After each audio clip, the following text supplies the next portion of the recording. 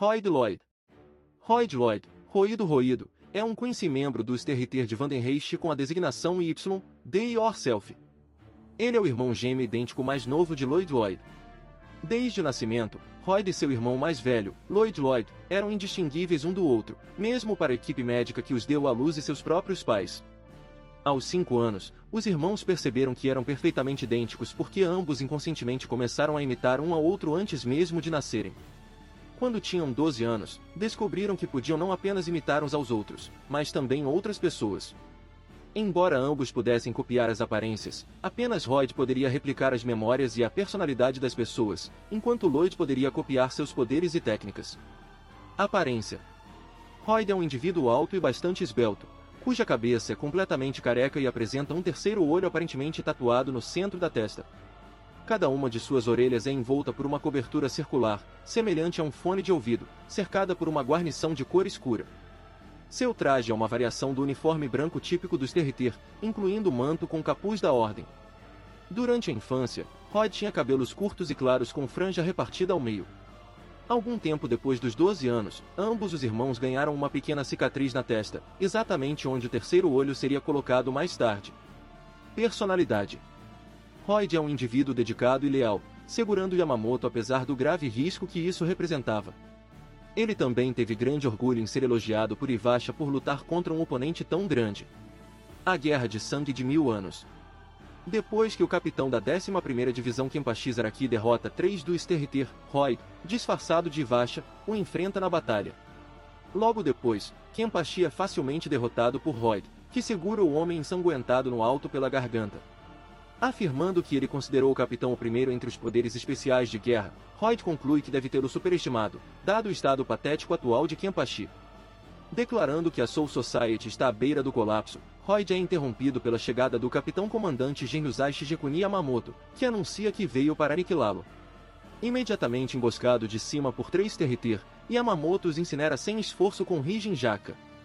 Imperturbável pelo infortúnio de seus companheiros, Royd diz que eles são todos lamentáveis que deveriam saber que não deveriam se intrometer em sua batalha. Observando o olhar desapontado de Yamamoto, Royd não se surpreende quando Yamamoto ataca, ferindo o antebraço de Royd, e afirma que nunca valorizou a vida de seus próprios subordinados, embora sua crueldade terminasse hoje, levando Royd a afirmar que Yamamoto ainda se permite ser consumido pela raiva, assim como no passado, apesar de envelhecer. Negando isso, Yamamoto o ataca novamente. Mal capaz de evitar o próximo ataque de Yamamoto, Rod manifesta sua arma espiritual, quando Yamamoto reconhece essa ação, Rod observa que Yamamoto parecia estar esperando que ele sacasse sua lâmina. Confirmando isso, Yamamoto diz que fez isso para garantir que destruiria Rod inteiramente e ativa sua bancais, Zanka no Tashi. Quando Jugron Ashwalto questiona se a lâmina queimada que Yamamoto impunha é realmente uma bancai, Rod o avisa para não subestimá-la antes de detalhar sua capacidade de incinerar qualquer coisa que corte em uma explosão de chamas. Notando que Royd deve ter visto esta bancai mil anos atrás, Yamamoto pergunta se ele realmente acredita que será o mesmo que naquela época antes de afirmar que Royd pode levar o próximo golpe de Zanka no Tashi e descobrir se ele realmente quer descobrir se sua bancai é a mesma de mil anos atrás. Evitando os ataques de Yamamoto, Royd se pergunta por que nenhuma chama saiu da lâmina quando sua capa foi cortada e se a bancai poderia realmente ter mudado nos últimos mil anos. Reafirmando que não há Zanpakuto com um Shikai e Bankai que não são relacionados, Royd percebe que o verdadeiro perigo está na ponta da espada depois de ver os escombros que tocou foram instantaneamente obliterados. Confirmando que as suspeitas de Royd são verdadeiras, Yamamoto explica a habilidade de Zanka no Tashi, Higashi diz que nem mesmo Bloodvein pode se defender contra isso. Desanimado, Royd afirma que ele simplesmente tem que cortá-lo sem tocar na espada e ataca Yamamoto, apenas para expressar choque ao ver que seu ataque não fez nada, descobrindo que a metade superior de sua própria espada havia sido incinerada dizendo a Roy que ele é muito ingênuo e deveria ouvir quando os outros falam. Yamamoto diz que deve haver um oeste se houver um leste antes de tornar Zanka no Tashi, niche visível. Como Roy percebe que apenas Blood vem o impediu de ser incinerado mesmo à distância, Yamamoto pergunta por que ele está apenas olhando e afirma que Roy seria morto mesmo se ele corresse. Disparando um Eilig Peio, que é facilmente repelido, e com sua espada quebrada, Roy declara que há mais nas táticas de Quincy do que sua cruz e flechas. Ativando Kirchlied, Sanctizingir, Royd afirma que é o último feitiço de proteção do Quincy e avisa Yamamoto que qualquer um que entrar em seu raio será dilacerado pela luz de Deus. Imperturbável, Yamamoto nega o feitiço de Royd ativando Zanka no Tashi, Minami. Alarmado com a horda resultante de cadáveres esqueléticos, que são povoados pelo Quincy que Yamamoto matou anteriormente, Royd denota a ironia de um Shinigami que pode ressuscitar os mortos e chama Yamamoto de desgraça para sua espécie antes de pular sobre os esqueletos para atacar Yamamoto diretamente. Impedido por uma enorme pilha de cadáveres, Royd é convencido a examiná-los mais de perto a pedido de Yamamoto. Horrorizado, Royd reconhece os crânios queimados de seus subordinados falecidos entre os que já estão na pilha. Como a hesitação de Royd permite que a horda o engolfe, Yamamoto o provoca por não ter roubado sua bancai antes de explicar por que Royd não conseguiu fazê-lo. Quando Royd grita com essa provocação, Yamamoto diz que Royd ainda deve ter um coração humano. Afirmando que os esqueletos não são suficientes para detê-lo, Royd começa a derrubar seus ex-aliados, Alegando que ele pode ver as lágrimas de Royd, Yamamoto afirma que a amargura que ele experimenta agora é incomparável ao ódio que o Shinigami caído tinha por ele antes de liberar Zanka no Tashi, Kita, Tenshi Kaijin. Com grande parte de seu torso e braço esquerdo erradicados, Royd pede desculpas a Ivasha por não ser forte o suficiente. Logo depois disso, o verdadeiro Ivasha chega e elogia Royd por ter lutado bem. Levado às lágrimas, Royd diz que é uma honra receber esse elogio, pois Ivasha mata seu subordinado, tendo servido ao seu propósito. Poderes e habilidades.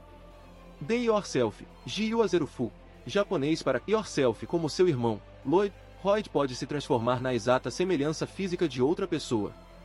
Ao fazer isso, ele pode replicar as memórias e a personalidade desse indivíduo, permitindo que ele personifique perfeitamente seu alvo. Enquanto Royd e Lloyd podiam copiar aparências, apenas Royd podia replicar as memórias e a personalidade das pessoas, enquanto Lloyd podia copiar seus poderes e técnicas.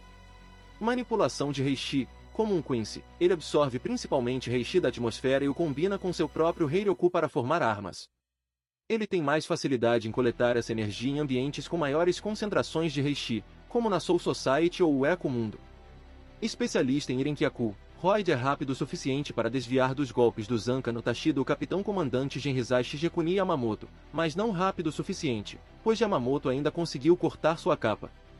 Blut, burto, alemão para sangue, japonês para Bland Giz e uma técnica avançada de Quincy que concede capacidades defensivas e ofensivas desumanas, causadas por fazer o reishi fluir para os vasos sanguíneos do usuário. No entanto, as formas independentes de ataque e defesa não podem ser empregadas simultaneamente, Blutvene, Burtovni, alemão para via de sangue, japonês para Testirid Blandgize enquanto a forma defensiva de Blut de Rod é forte o suficiente para negar ataques de Zanpaku de Kenpachi, não é absoluta e pode ser rasgada usando energia suficiente. Como evidenciado quando Rijin Jatka do capitão comandante Genrizai Shigekuni Yamamoto conseguiu infligir uma lesão significativa em seu antebraço esquerdo. Apesar disso, a Blood Vein de Rod é forte o suficiente para conceder-lhe resistência ao calor intenso nas proximidades da Bankai de Yamamoto, Nanka no Tashi, que de outra forma reduziria uma pessoa a cinzas. Poder espiritual imenso. O poder espiritual de Rod está em um nível comparável ou superior ao de um Shinigami de nível de capitão, comprovado quando ele alcançou a vitória sem esforço contra o capitão da 11ª Divisão Kenpachi Zaraki, que possui uma quantidade incrível de Heiryoku, embora o capitão tenha sido ainda subconscientemente suprimindo a maior parte de seu verdadeiro poder, e um pouco se manteve contra Yamamoto, com o último acreditando firmemente que ele era o verdadeiro Ivasha. Força aprimorada. Royd possui uma grande quantidade de força, sem esforço segurando o Kenpachi no chão pela garganta com apenas uma mão. Resistência aprimorada. Apesar de ter sido cortado por Zanka no Tashi de Yamamoto, Kita, Tenshi Kaijin que incinerou uma grande parte de seu torso e deixou fatalmente ferido, Royd ainda foi capaz de sobreviver e permaneceu consciente tempo suficiente para Ivasha retornar. Mestre de feitiços de Quincy. Devido ao seu amplo conhecimento da tradição de Quincy, Royd pode empregar habilmente uma série de certas técnicas de Quincy, chamadas de feitiços, que resultam em efeitos semelhantes a Kid. Royd pode invocar quase instantaneamente um que oferece proteção máxima usando sua própria energia e sem encantamentos. Arma espiritual. Espada Reishi. Usando sua cruz Quincy, Royd pode concentrar energia espiritual e partículas para transformá-las em armas. Ao contrário dos arcos exibidos pela maioria dos outros Quincy, sua arma particular se manifesta na forma de uma espada ornamentada, uma reminiscência de um dadal, com uma alça relativamente longa e uma guarda cruzada em forma de pássaro. Eimig Perio, Airivipo Fairu, alemão para flecha sagrada, japonês para flechas sagradas de destruição ao coletar Reishi, Royd pode formar as flechas espirituais que são típicas de outros arcos Quincy. Mesmo que sua arma espiritual seja quebrada, Rod ainda mantém a capacidade de gerar luz entre as palmas de ambas as mãos. As flechas formadas dessa maneira são várias vezes maiores que as do Quincy médio, embora ainda possam ser disparadas com força considerável, usando apenas um simples gesto.